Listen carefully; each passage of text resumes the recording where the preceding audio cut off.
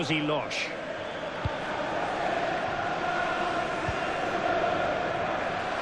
Good work to regain possession. And a throw-in it's going to be. Now they're going to alter things. Here's the substitution. Unai Lopez. It might be. And there is the goal. He's found the net.